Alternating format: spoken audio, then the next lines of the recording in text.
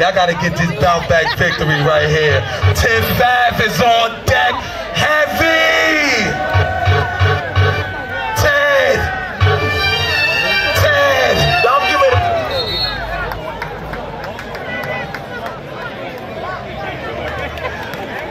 Twitter, I am Dyckman at Twitter.